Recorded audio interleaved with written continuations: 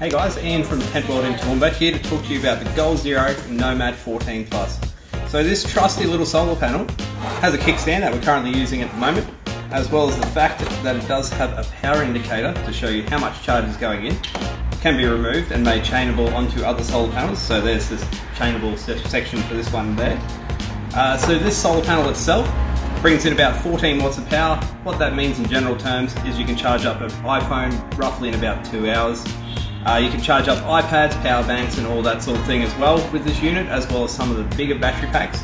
Uh, with the actual unit itself, it's got a 90 degree lean angle on the back there, so it does sit quite nicely. It does come with carabiners and things like that, so you can actually put it on the back of your hiking pack as well. All in all, it only weighs about 860 grams. Nice and portable, the cords and everything will go back in the zip on the back there as well. And if you are trying to save weight and only using it on the back of your pack, you can actually remove the kickstand completely as well.